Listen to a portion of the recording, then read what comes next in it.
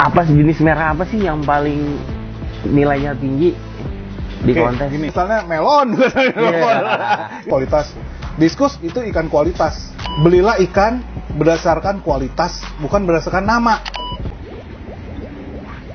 gede gede welcome to Giant Discus Official gua Budi jangan lupa like comment share dan subscribe subscribe subscribe subscribe gue ganti baju dulu Itu unik sih om ya di diskus tuh penilaiannya hari Sabtu. Jumat kita naruh ikan, penilaiannya Sabtu.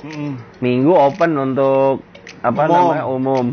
Ya orang umum kan matanya mata dia datang ya dia lihat ya dia apa adanya dong.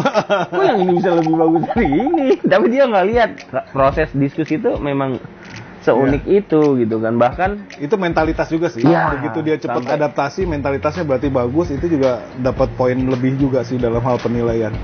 sampai bahkan ikan yang juara hari Sabtu perform bagus, memang dia juara Ya, satu, minggunya champion, ngumpet. minggunya ngojek. Ya itu terjadi sih, memang itu umum ter- tapi sering terjadi. kita boleh bilang bahwa pada saat penjurian dia nggak perform Iya, ya, ya. iya, Jadi betul. yang dinilai sama uh, juri-juri itu adalah yang pada saat penilaian Iya, betul. hari H penilaian ya dinilai gitu. Pada saat udah masuk udah lewat penilaian dia ngedrop apa segala macam itu udah bukan cerita lagi Om Iya, ya. betul. Gitu. Solid, menarik. menarik banget nih. Kita baru masuk kelas merah udah panjang kali lebar nih.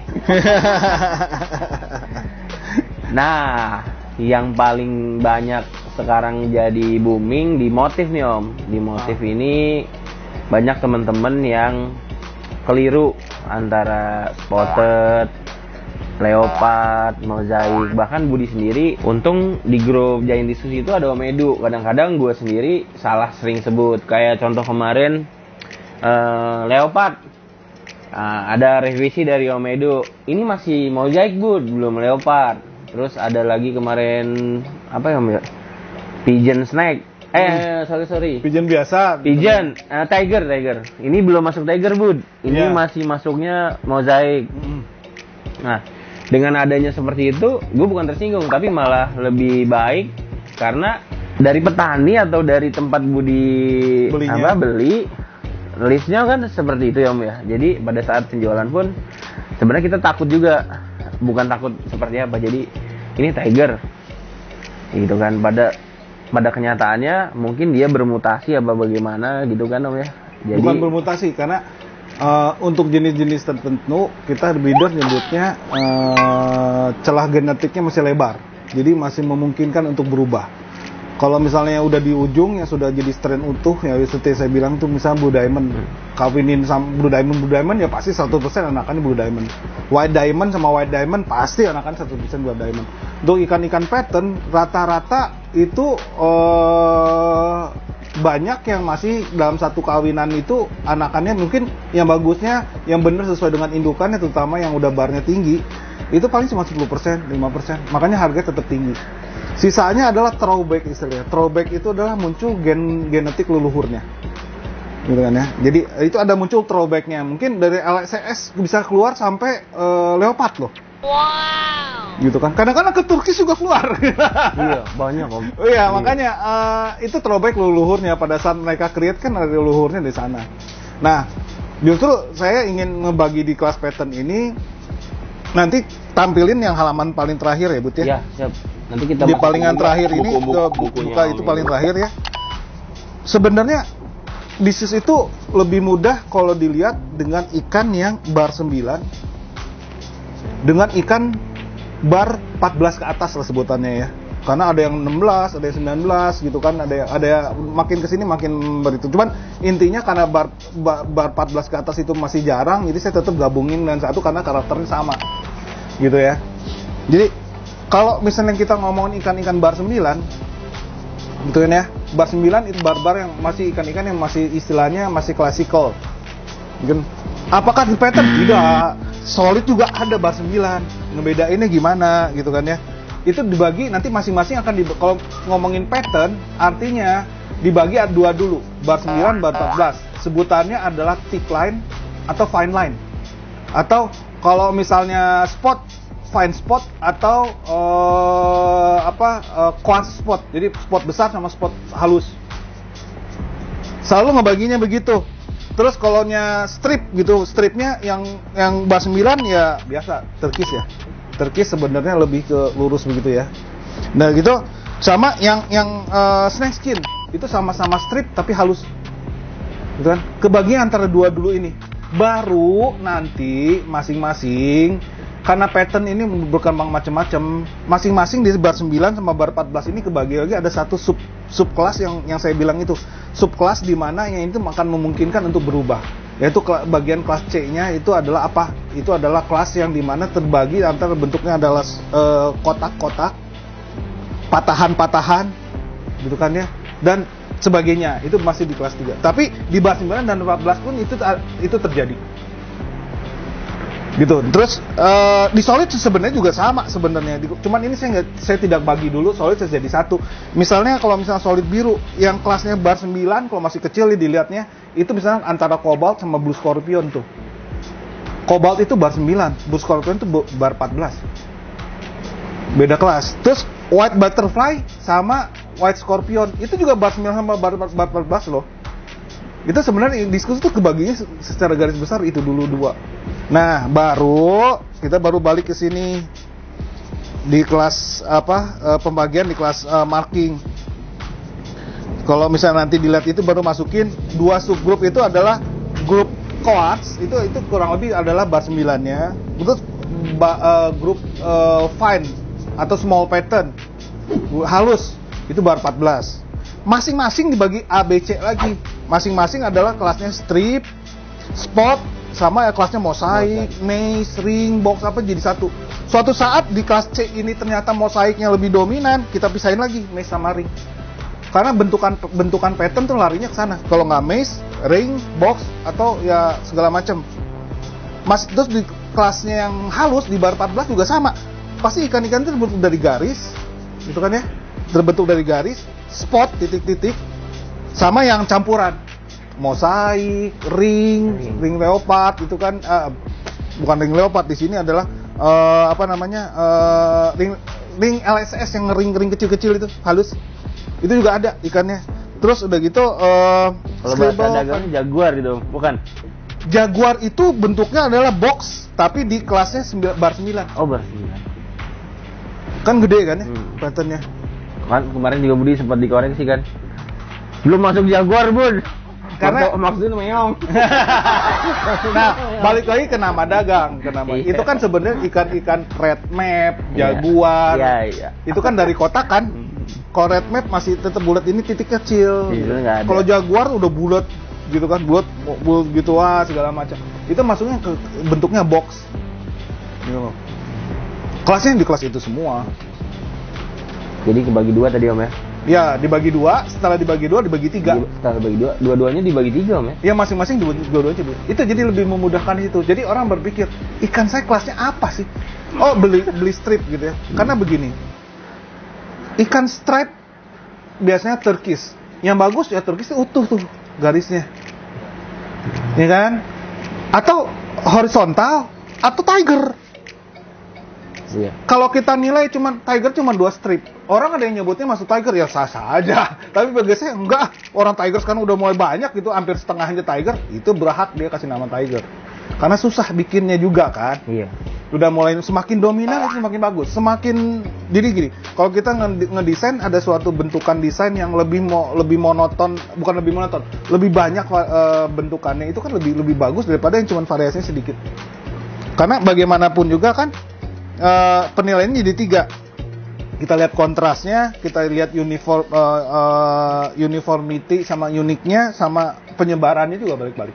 Kan pasti dinilai dari tiga nilai itu. Masing-masing lihat kalau bentuknya bar 6 kayak gimana bentuknya. Di yang bar 14 kayak gimana bentuknya yang di kelas halus. Iya. Jadi lebih gampang kan Hmm. baginya? Ya udah gitu. Jangan berpikiran dengan nama dagang. Tuh yang kemarin ada yang kemarin Sensor, sensor. sensor sensor, kalau untuk sekedar tujuan komersil sah-sah aja itu ya. sah karena begini kita lihat dari kacamata breeder saya misalnya nge-breed misalnya, saya nge-recreate eh, satu jenis ikan itu minimal udah mungkin sekarang udah lima tahun dan itu belum sempurna bagi saya ya. Dan itu akan berubah lagi ke depannya. Ikan-ikan yang biasanya di tengah tubuh itu sama di dekat itu kan paling susah untuk dibuat pattern yang kita mau itu di tengah-tengah tubuh. Di tengah tubuhnya bagus patternnya gitu kan. Ini bener-bener udah ikan mahal nih bagi saya. Dia jual mahal wajar karena sesuai dengan lukisan juga kan Sama. sama gitu. Ternyata susah Mona Lisa aja nggak ternilai harganya.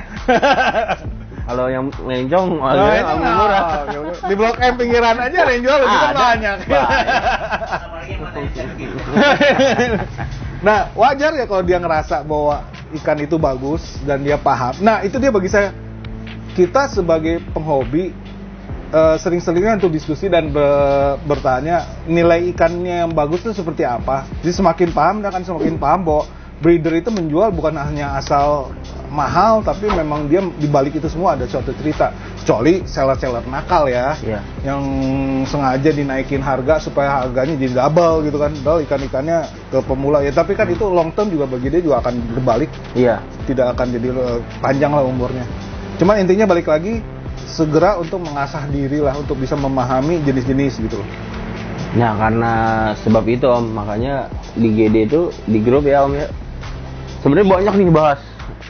Teman-teman tuh bahas ini ini ini.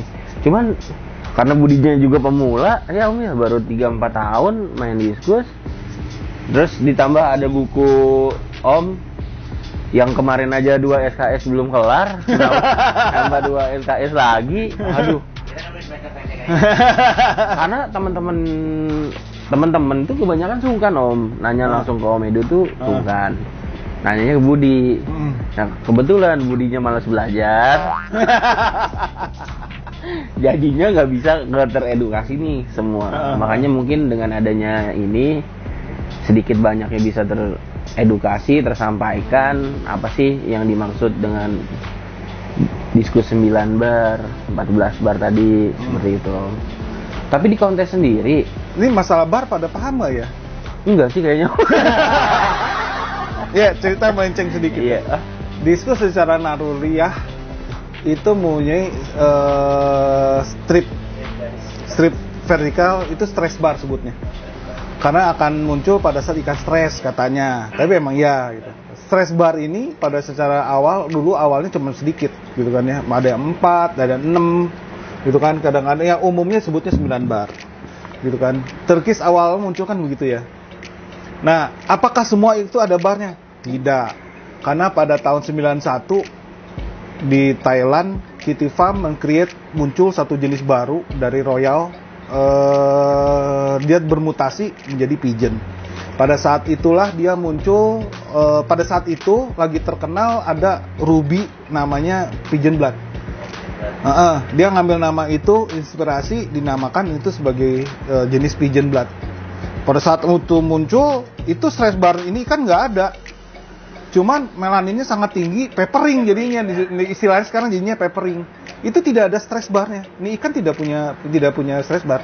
Kalau ngeliat pigeon, pigeon dan turunannya melon itu kan tidak, ada stress bar. Ya karena sudah menghilang gitu kan. Pada saat dulu melon belum ada, pada saat muncul kan pigeon blood. Itu sama seperti tukis, basicnya sed- sedikit orange, tapi si patternnya itu adalah muncul peppering full, hampir setengah badan lebih itu peppering, hitam banget lah. Nah, udah ta- ta- dari tahun 91 sampai sekarang kan mulai dibersihin bersihin bersihin sampai akhirnya jadi pigeon seperti sekarang gitu. Pigeon checkerboard, pigeon ini, pigeon itu. Itu kan papernya menghilang. Tapi tetap ada karakter papery. Jadi itu malah jadi ciri khasnya dia. Jadi menjadi eh, apa? Pigeon turun dan turunannya ada papering itu ciri khasnya dia. Dan mutasi yang lain, misalnya mutasi jadi WD gitu kan, white diamond itu tidak ada stress bar. Gitu kan. WD nggak ada ya? WD nggak ada nggak ada stress bar jadi eh, kadang-kadang ya ini yang masih ada miss bukan ada miss eh, apa yang kadang-kadang orang su- suka su- suka suka kebalik ikan saya ini nggak sakit tapi ke- eh, sakit tapi nggak hitam-hitam tapi kelihatannya sakit ya itu sakit tapi kok nggak hitam om karena WD ternyata ikannya dia kan tidak tidak akan menghitam karena tidak tidak ada stress bar juga gitu Iya. Nah, nah iya dan nggak pattern juga. Nah ceritanya begitu. Jadi eh, diambil dari bar. Nah ke diskus secara unik ada orang yang me- mempelajarinya ngelihat kalau begitu lahir makin ikan-ikan yang makin kes ke di inbreed di inbreed ikan-ikan yang makin sulit ikan-ikan yang semakin istilahnya apa ya eh, semakin jarang adalah yang barnya banyak ada bar pak kalau misalnya iseng dicari dihitung itu kan ya ada 14 coba aja iseng pernah yang hitung aja. Eh iya benar cukup lah itu. itu ada 14 bar lah istilahnya. Jadi kita nyebutnya istilah 14. Padahal apakah 14 ya tidak. Ada di range sekitar situ lah ada 12, 13. Tapi ada yang yang yang eh, stand-stand yang baru muncul sekarang yang lagi tren dan mahal itu malah lebih dari 14. Gitu. Iya om. Kan kalau di kontes kita dua aja om ya, Spotted dan Leo ya om ya. Iya iya iya. Oh, Di kontes kita karena gini, eh, di kontesnya kita masih menggunakan sistem penggunaan kelasnya berdasarkan ada sebagian masih makan, menggunakan nama dagang. Kelas pigeon itu sebenarnya kan pigeon kan nama dagang dari Kitty Farm itu kan. Kelas pigeon, kelas turkish. Turkish itu kan punyanya merek dagangnya Jack Waterley loh. Hmm. Pada saat awal dia membuat dari ikan-ikan wildnya dia, gitu kan, eh, dia lihat ikannya gitu, dia sebut mengcreate nama dagang eh, Turkish gitu. Kelas Turkish masih menggunakan nama gitu, karena itu kan istilahnya untuk memudahkan karena sudah familiar kayaknya. Bagi saya, kayaknya udah saatnya untuk mulai bicara karena makin ke sini kan makin banyak tuh Makin banyak. ikan-ikan kelasnya ya. Dan pada suatu saat mesti dipecah, udah saatnya untuk diedukasikan kepada eh, um- pe- eh, pemain-pemain lain hobis, bahwa Hobis, hobis. jangan selalu berpikiran eh, bahwa ikan itu eh, strain itu adalah eh, dengan nama itu. Karena jadi kebalik kan orang taunya Iya. eh, itu tuh eh, jenis, padahal bu- bukan klasifikasi di ikan, padahal bukan itu nama dagang. nama dagang saking kuatnya gitu kan. Iya saking kuat kuat banget. Kuat banget. Jadi itu tuh jadi jadi strain gitu.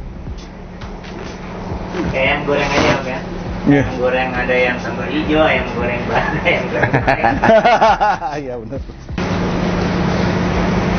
Nah, wah, thank you Om Edu atas eh, klasifikasi diskusnya tadi ada solid dan Betul. pattern. Di sini juga ada beberapa teman-teman pecinta diskus, sahabat GD juga. Nah, ini ada Om Yuda nih. Om Yuda, mumpung ada di sini. Ada nggak yang mau ditanya nih sama Om Edu?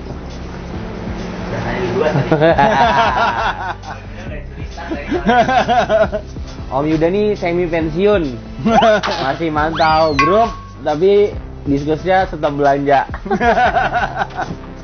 Ada juga sobat GD yang lain mungkin ada yang mau nanya. Oke, em, jadi tadi ada yang mau ditanyakan Om ya terkait spesifikasi kelas itu kan kalau semisal ada kelas 3 itu yang satu jenis ikan di situ ada dia punya patternnya itu ada ring leonya, kemudian dia ada spotnya juga, dia ada mozaiknya juga. Jadi kan klasifikasinya bisa aja nih kalau misalkan kita mau bilang misalkan, wah ini ini kelas ini di satu ekor ikan ini ada ada leonya, ada mozaiknya, ada spottednya. Maka ini harganya bisa tiga kali lipat secara komersil misalkan. Nah, untuk edukasi kita nih buat yang awam sebagai hobis, Oke. itu di garis besarnya di mana dan untuk range ibaratnya ya sekalipun kita harus mengrogoh cross check kan minimal jangan sampai kita kapok ya untuk membeli ikan yang sesuai dengan eh, spesifikasi kelas tapi juga dengan jangkauan harga dan sesuai dengan hobi kita gitu. Mungkin Oke, itu. Balik lagi gini. Ah, di kelas eh, pattern atau marking, saya balik lagi ya. Saya bagi menjadi kelasnya yang tebal atau coarse atau kelas yang fine atau yang halus. Bagi dua dulu itu ya. Kalau misalnya dibalikin lagi tadi yang coarse itu biasanya biasanya adalah yang barbar 9. Yang halus barbar 14. Nah, dari sini masing-masing dibagi tiga nih ya. Masing-masing bagi tiga. Masing-masing akan ada kelasnya adalah eh, apa namanya? eh, kelasnya strip, spot sama lain-lain. Yang C ini yang lain yang ditanya ini kan yang lain-lain. Yang lain-lain itu apa sih? Yang lain-lain itu adalah misalnya bentukan-bentukan dari ring, bentukan-bentukan dari box. Bentuknya seperti box tuh, red map gitu kan ya, jaguar. Atau juga ada yang bentukan-bentukan eh, apa namanya? maze. Kenapa saya pisahkan di sini? Karena pertimbangan begini. Kalau kita eh, ngelihat ikan strip itu akan sangat indah seandainya stripnya tuh dominan. Semua nyambung dari depan ke belakang gitu kan.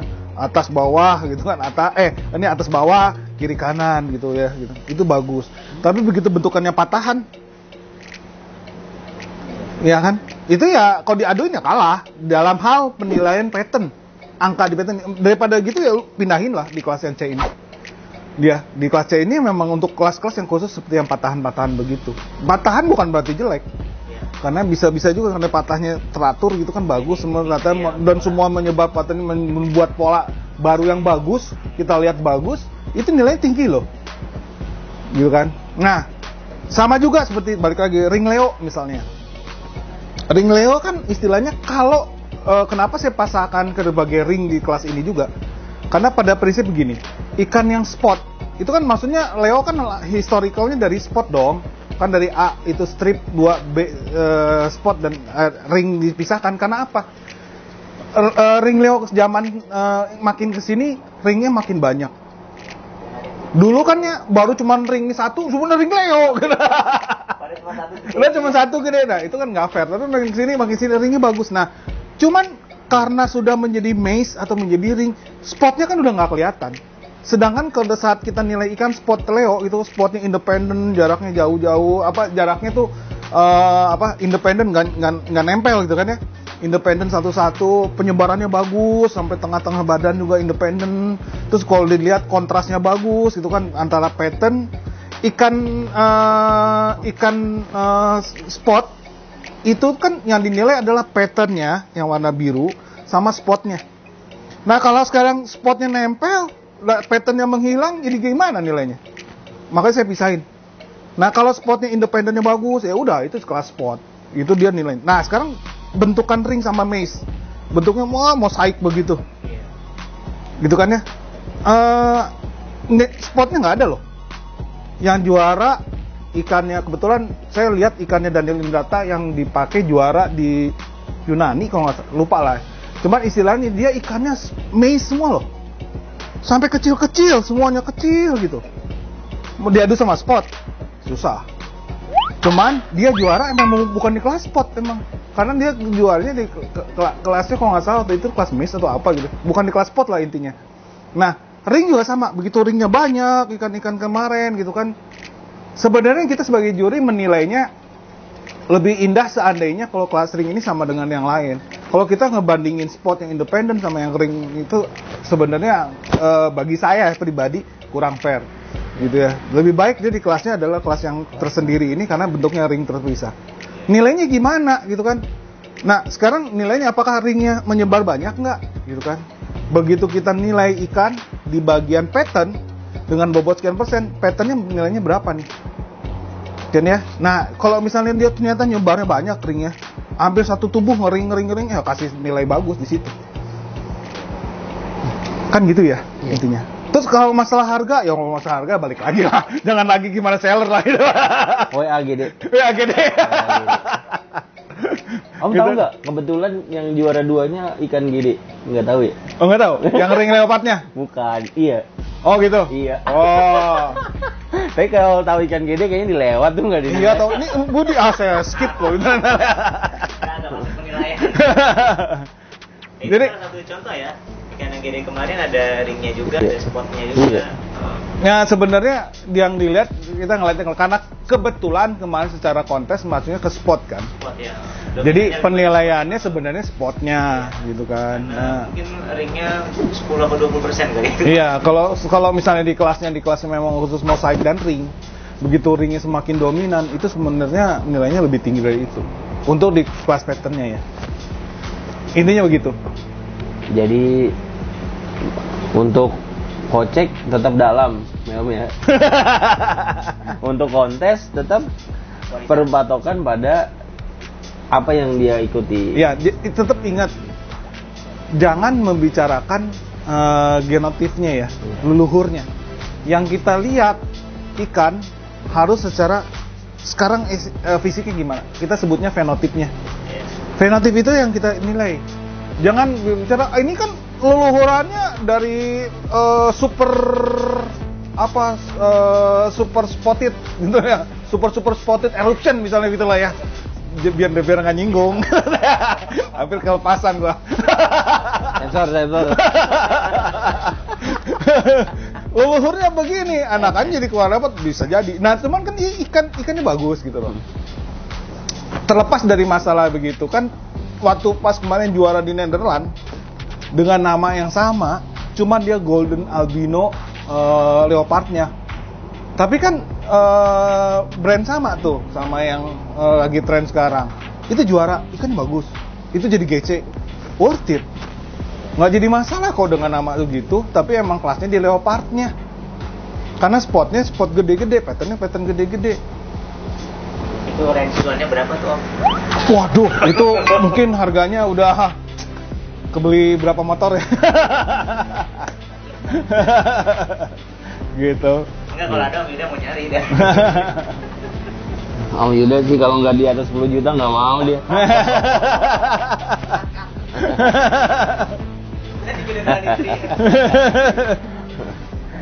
Ya. Jadi makasih banyak Om. Sama-sama. Mungkin buku ini akan terus Budi jadikan edukasi Om. Iya. Izin dulu sebelumnya. boleh silakan ini dis- disclosure disclaimer lah ini baru Ya. ngomong disclaimer yang bener saya ngambil ikan ada beberapa yang saya minta izin kayaknya misalnya ke Antonello Greco yang di Itali saya minta izin terus saya mah ke Cendiskus di Inggris saya minta izin gitu kan saya email dan mereka memberikan izin. Ada beberapa termasuk ikan gede loh. Rasanya ada di sini.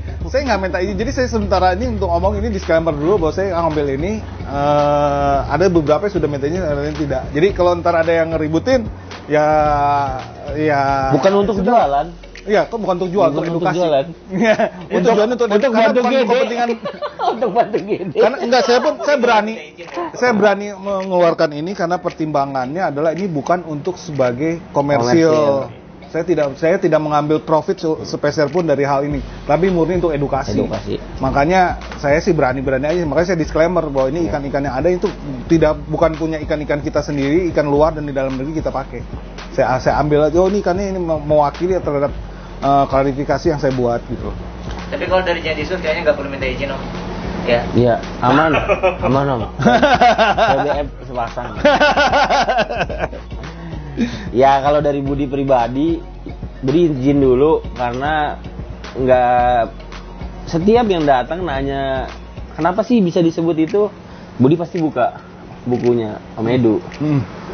jadi makanya ini ngebantu banget ya Budi pribadi nggak tahu teman-teman yang lain yang mau sebenarnya udah disebar sih Om ya udah, di sebar, Facebook di udah- mana aja sih Malah ada teman di Surabaya begitu dapat di print. Jadi buku. Tadi fotokopi. Terakhir saya mau ini om kata ini Bang Budi nih ganti namanya Giant Discus yang nulis gitu. Ah, nggak bener namanya Kan, kan, kan, kan. Ya, karena udah sore juga, makasih banyak Om Edu atas waktunya. Ya. Gua kalau ke sini selalu dapat ilmu baru, ilmu yang nanti bisa kita sampaikan juga Om ke teman-teman yang lain. Mudah-mudahan Om Edu sehat selalu. Amin. panjang rezekinya dan tidak Amin. bosan mengedukasi sahabat-sahabat GD semua di mana pun berada. Ada pesan dan kesan om buat teman-teman pecinta diskus di mana pun berada. Saya tetap balik lagi seperti yang saya omongin awal. Hmm, be a smart buyer lah ya. Jadi intinya eh, yang jangan membeli ikan berdasarkan tren. Intinya itu aja. Tapi benar-benar berdasarkan kualitas. Anda tahu positioning ikan ini di mana. Eh, kalau merasa itu memang worth it, ya wajar beli. Jangan lihat berdasarkan karena tren. eh, jadi ikutan beli. Ternyata setelah itu karena nggak paham, ada belinya dari seller-seller nakal, eh, jadi ribut. Gitu. Dan kalau paham meskipun sellernya nakal kan ya nggak, juga. Tapi istilahnya eh, belilah berdasarkan kualitas. Hargai ikan ikan kualitas karena tetap diskus bagaimanapun ikan kualitas, hargailah berdasarkan kualitasnya. Itu aja lah. Jadi ada rupa, ada harga ya om ya. Iya. Kita nggak usah Nih, lihat di di Giant Diskus. ada rupa, ada harga. Giant Discus. Yuk, Dek. Ya dengan adanya Om Edu di grup itu juga teman-teman kan antusias banget tuh. Hmm, hmm. Yang nggak tahu kenapa dengan antusias seperti itu teman-teman tuh jadi sekarang makin pede Om. Kayak Om bahas air, bahas kenapa bisa seperti itu, ikan, karantina baru, apa yang harus diobatin. Itu mereka pada pede yang ngebantu Budi juga sih sebagai seller. Itu aja. Terima kasih. Sama-sama. Sampai jumpa di vlog-vlog berikutnya. Dukung terus Giant Diskus. Jangan lupa share, subscribe, dan follow. Pencet tombol merah. Terima kasih. Katanya dulu lah. gede gede welcome to Giant Discus Official gua Budi jangan lupa like comment share dan subscribe subscribe subscribe subscribe Gue ganti baju dulu